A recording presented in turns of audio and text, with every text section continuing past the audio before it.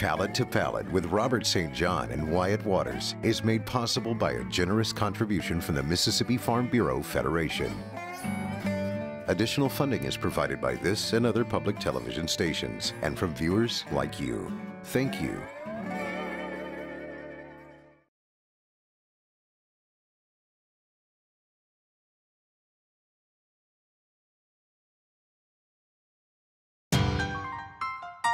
A chance to become Captain America.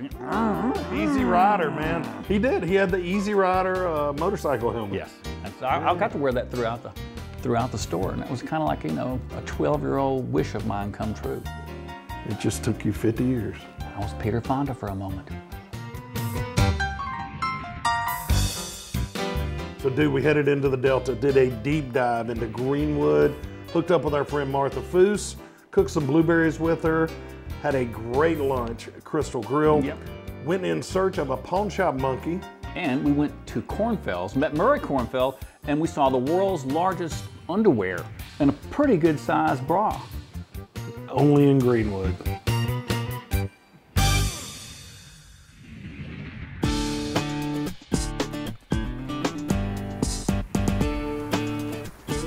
You know, I think when people who don't live in Mississippi think of Mississippi, what Yeah. they have in their head is the Delta. Sure. And what defines the Delta to me is not the landscape, but it's the people. Yeah. And there's a little bit of quirkiness Oh yeah. and, and ex- eccentricity, but in a beautiful way. People drive. You have if you live in the Delta, you got to have a good tank of gas. Yeah, you really do. But there, the Delta is full of storytellers. It's full of uh, true Mississippi characters, and that's why we love the Delta. You can see why they sang the blues there. Yeah.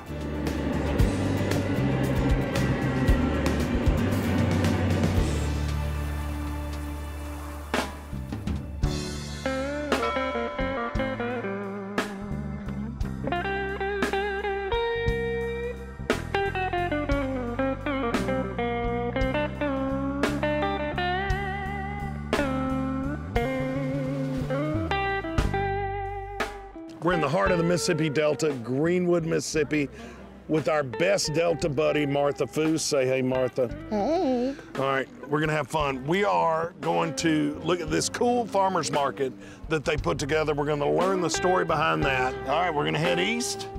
We're gonna go, hopefully, visit the Pawn Shop Monkey of Greenwood, Mississippi, the world's largest set of panties, Yes. and have a killer lunch at the Crystal Grill. Underpants. Giant underpants. Yes. Oh, so they're men's pants. He has, he doesn't, I mean, he's got them all. Oh, He's got Okay. everything. They're unisex.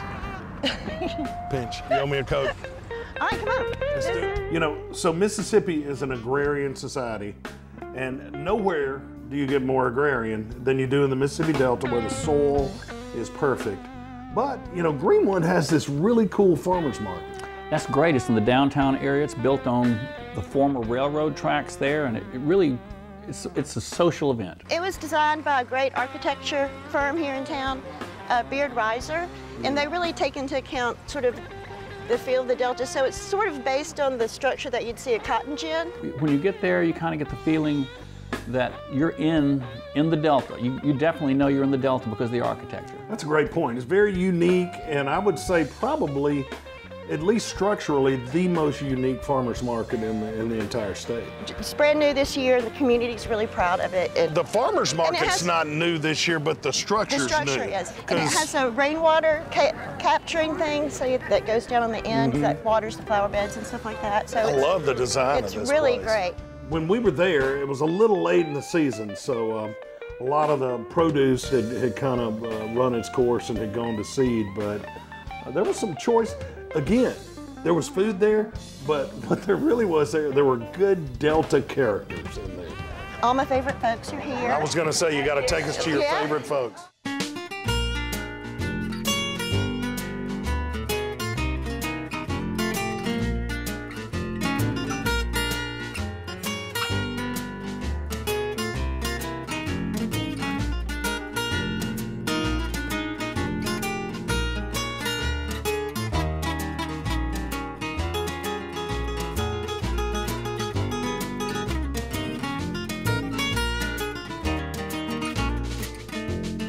I got me some cannas, I got me some tomatoes, I got me some jams. Yeah, I got jam too.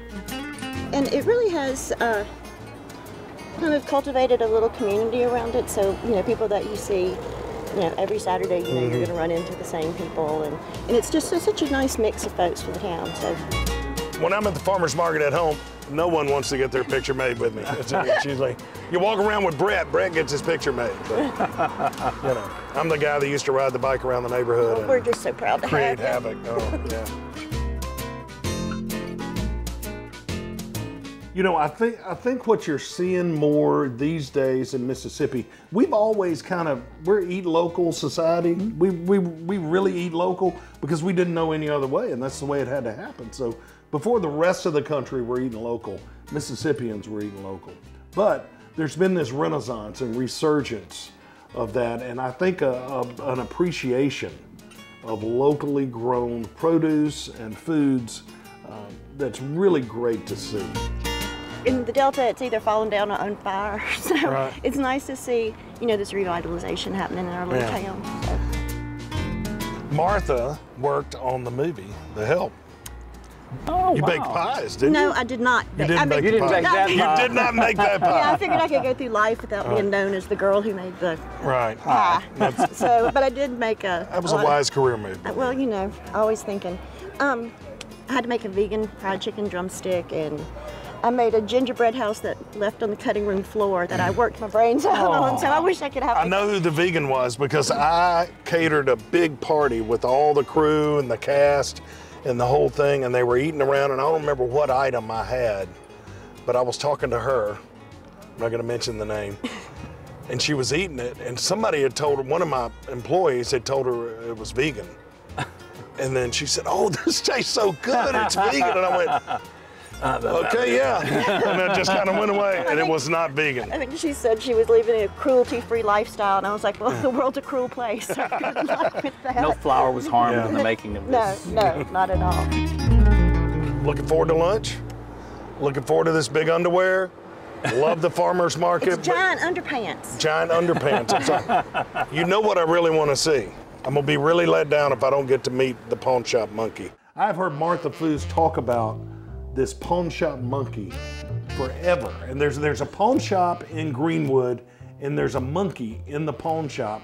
And as a kid, man, all I, I wanted a monkey and a purple doom buggy. Those are like the two things I wanted. You could buy them in the back of comics when we, We were talk kids. about you're right. Sixteen ninety five or something. You tell people that they don't believe it. Like when we were kids, when Wyatt and I were kids, in the back of an Archie's comic book or whatever, you could buy a monkey for like 15 bucks and they would ship it to you. Guaranteed live delivery. I've always regretted I didn't spend uh, some of that 15 bucks instead of spending it on sour apple Jolly Ranchers. I, Yeah. could have I could have had a monkey. I would have traded my brother. Sorry, Jim Joel. So we went in search of a pawn shop monkey because just the words pawn shop monkey, if somebody says there is such thing as a pawn shop monkey, you got to go look. The pressure's on. I know sometimes the monkey goes to Cleveland on the weekends, but we will do our best to find. I want the monkey to be here. We got our fingers crossed. Fingers crossed. Pawn Shop Monkey, Greenwood, Mississippi. Sometimes you get the monkey, sometimes the monkey goes to Cleveland. Sometime the monkey gets you. We've been talking to Martha about the monkey. She said, Well, we got to go eat here. And we said, Well, as long as we can see the pawn shop monkey. So we have been two or three months wanting to meet this pawn shop monkey. And we got to the pawn shop. Man, I hope that monkey's here. No monkey. Oh, no monkey. No monkey. Used to be. The pawn shop monkey was in a pawn shop in Cleveland, Mississippi. Yes. He had another engagement. That monkey gets around. So Popeye is the current monkey. What was the other, the older monkey was Boo Boo? Yes. He was a mean, He was a mean monkey? Yeah. mean. That might be the one that pulled Jane Rose hair. Okay. Probably was. She was like, "Hey, little monkey! Hey, little monkey!" And he went. He ain't, he ain't like, But when you're in the Delta and you got nothing left to do, what do you do? You play the blues. It's like you know how they have celebrities opening department stores. They had monkeys promoting pawn shops, you know? Yeah. And an artist and a chef playing a blues in E, 12 bar blues, in the back of the store.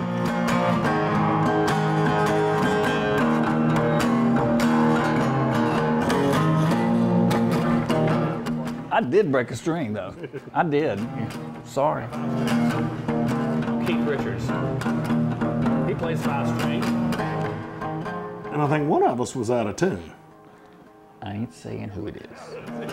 I'm closer near B. Bring the Delta, you gotta play the blues. Even if you're out of tune. So when they tell you you're gonna meet a pawn shop monkey, you just think, well, this Yeah. is the level. You know, we're gonna meet a pawn shop monkey. Does it get any better than that? Not within two blocks. Well, within two blocks, we met Murray Kornfeld, and it, it went up like to this level. uh, a true Delta character.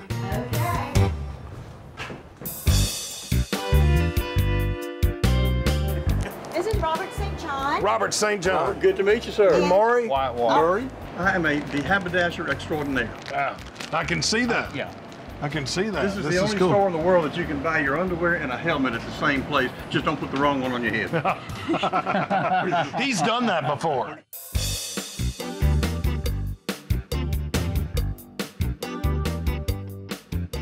This oh, that? Wow. I, I, I just got to look at the cup size. I'm sorry, I'm a guy, so, oh my gosh, it's a K.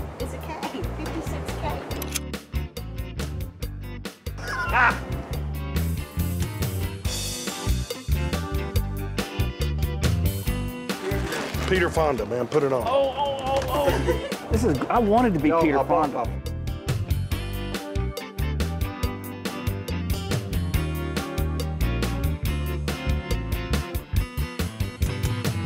Well, I just said I'm the only Jewish redneck in Greenwood. I ride a motorcycle. I carry a 45. I wear blue jeans. You know, it's I'm the only one left. One of a kind. One of a kind. When Martha said, I'm going to take you to see a pawn shop monkey, I got it, man. You got to see that. But then she said she was going to take us to a place called Kornfeld's. There was like a department store. I was like, eh, okay, we're going to see a department store. We had no clue, dude.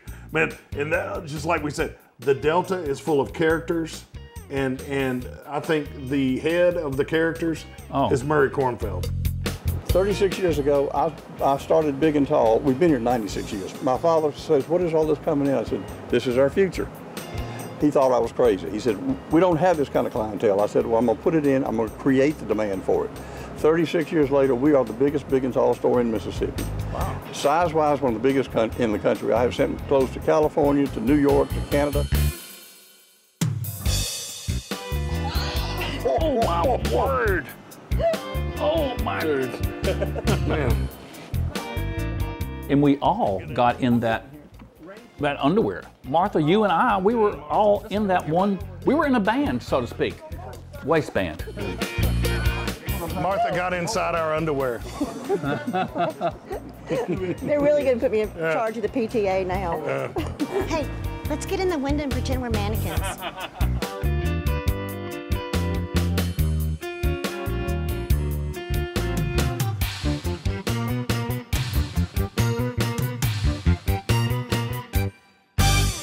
So for the last 20 years, anytime I've been anywhere near Greenwood, Mississippi around lunchtime, I'm going to the Crystal Grill. Love that place. And anytime I'm in the Crystal Grill, I'm gonna get that pork cutlet with the gravy. Yeah. Takes up the whole plate. Good stuff. Oh, and the pies was really great. The meringue was just stacked so high. As many times as I've eaten in the Crystal Grill, I've just really been in that front room. I didn't know. It's like a labyrinth, man. That place is huge. Just keeps going back and The back and back. sanctum. And we were in some way back room back there, and it was jamming that day. It was packed. And and as we know, people will drive an hour in the Delta uh, to eat uh, good food. And if you're at Crystal Grill, they probably drive two hours. They get a lot of regular customers.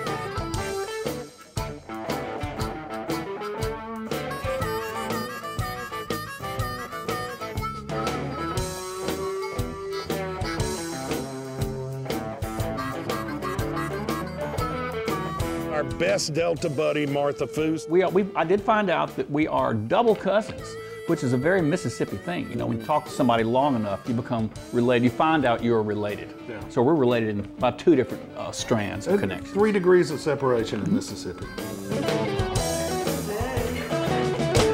Party favor.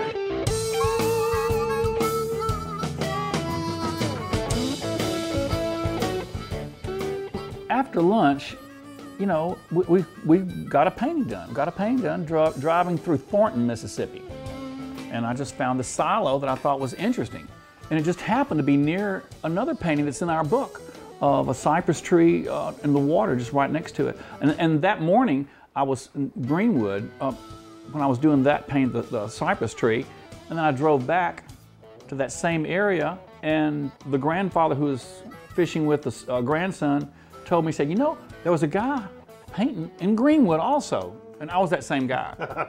anyway, right across the street from that was the, uh, uh, the gin, and that's where Martha, it turns out, her mother was working when she was pregnant with Martha. I didn't know that. That At was the just an- cotton gin. yes, just another happenstance. You know, that was one of those Wyatt moments. You and I have been working together 17 years, maybe more. And uh, so many times we've been just driving somewhere, in this case through the Delta, and you just said, Oh, that's it, stop. We stop, and pull over. You know, you get out, you kind of frame it and look at it, and then boom, an hour and a half, two hours later, there's this Yep. beautiful painting. And that was a prime Wyatt moment right there. And- just kind of stop the truck, I'm getting out, this is what I'm painting. Most of the time, you don't know the connection until after you've done the thing. You find it out while you're doing the thing. You say, oh, yeah, well, that's connected to this other thing. That's also very Mississippi. All these uh, interrelations between things. I think it's a great representation of the Mississippi Delta. I mean, that's just something you see. And uh, those cotton gins look a little different today than they did, you know, 50, 60 years ago. And, and that was one of the older ones. And so, uh, as you have always done, whether it's downtown Jackson or some other part of Mississippi, you always seem to capture those things before we lose them. And that's, a, that's an important thing that you do. Sometimes I think, you know, it's not a good thing that I paint something because next thing you know, it's gone. But I at least get a chance to preserve it. That's funny.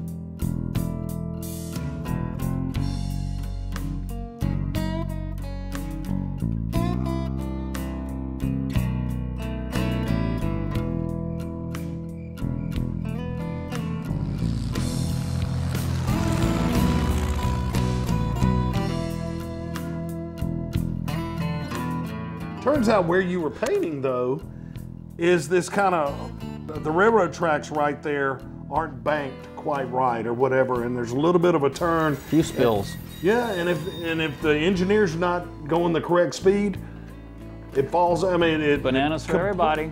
Yeah, and, and it happened in the Delta. This happens, and the train will fall over, and people just know to come. And I think they had about ten or twelve carloads of bananas spilled one time. By the next morning, all the bananas are gone. There's not much cleanup to be done when it spills Yeah. there. So uh, it happened with corn one time, and I think all the moonshiners we were told came and got the corn, and by the next morning it was gone. And Something about yard furniture yeah, too. patio furniture. They had uh, the guy took the took the curve too sharp, and uh, all this patio furniture spilt out, and then overnight, uh, patio furniture disappeared.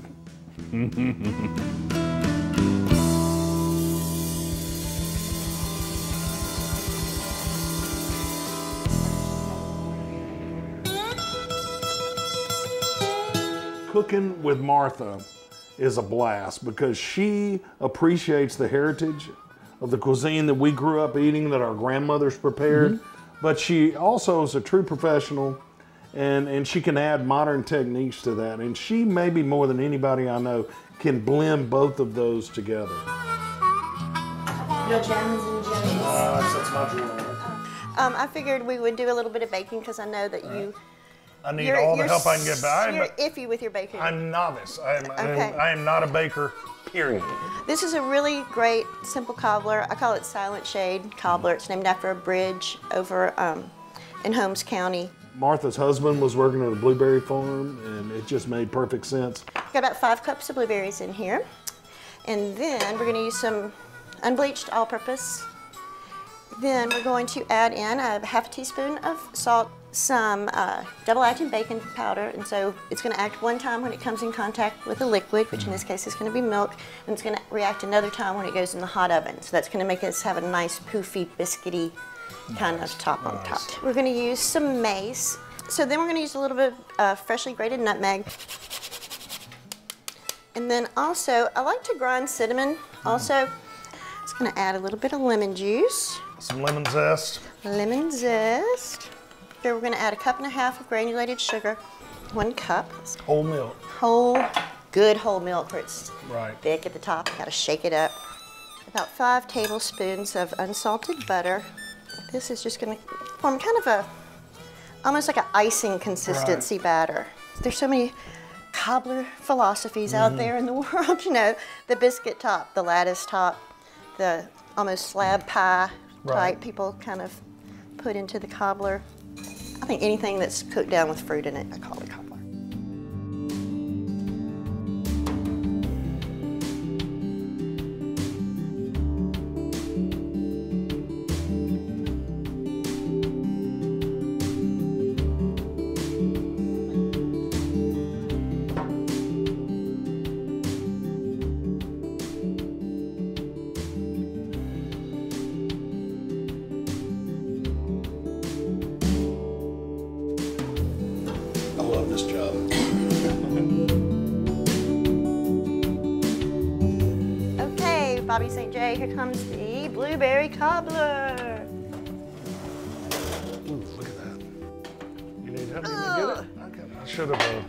done the polite gentlemanly thing. Look there. This little guy's gonna simmer down for a little while. And another great thing about cookbooks is like, if, however stressed you are, if you're like freaking out about some business deal or like family drama, if you get in bed with a cookbook or you start cooking, you're only focused on that. If you're making a jelly roll, the house could be burning down and you're having the biggest emotional crisis, but it takes your mind and focuses it on something. So it's really, you can kind of get into that headspace. That's, that's the way it's with painting for me. I mean, it's, it's cooking for y'all, but It's eating for me. if I'm painting a lot, there's usually something going Paint, on. cook, eat. It's like eat, pray, love, but That's it. but funner. Hey, thanks for having us. You're Anytime, You are awesome. Yay, I'm gonna hug you. Yay, next time, savory. We'll do savory things. We will.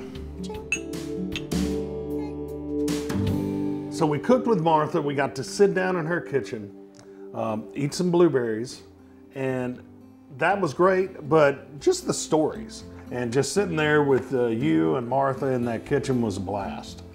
This the whole thing has been an adventure. I mean, every episode, everything we've done has been coming to this book, and it's been exciting to have this documented. Yeah, you know, we filmed our pilot for a TV show in Oh gosh. 2002. And uh, it's it's airing here in 2017. So 15 years later, uh, was had years I had hair at the time. Uh, yours was a little darker, but uh, we we finally got this TV show thing done, and it has been a blast.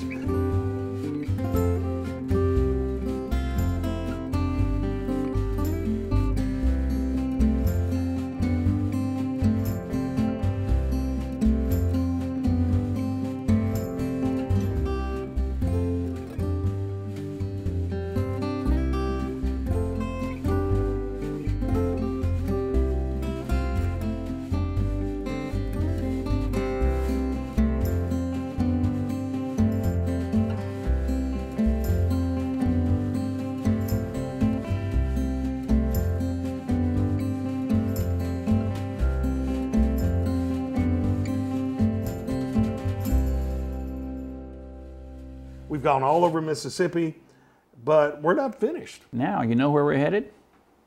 Italy.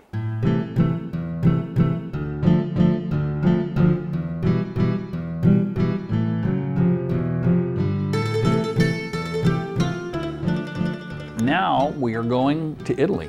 Show these people what Mississippi is about. That's right. You know, Tuscany is a lot like Mississippi, mm-hmm. and that's true because it's an agrarian society, Yep. just like Mississippi.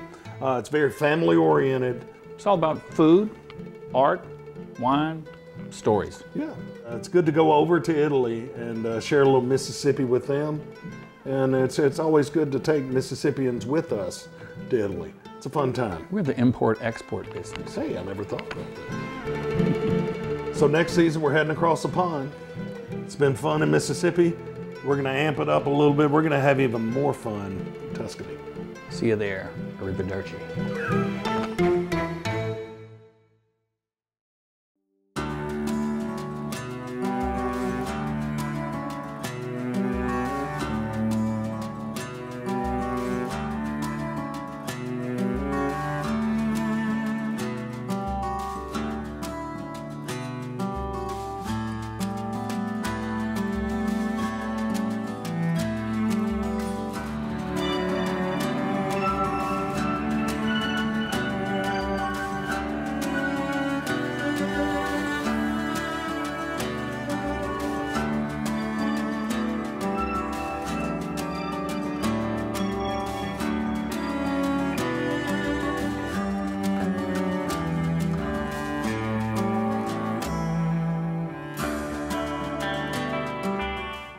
The paintings seen on today's program are featured in the A Mississippi Palette Cookbook. This beautiful volume also includes Mississippi Heritage Recipes, a Mississippi Palette Cookbook.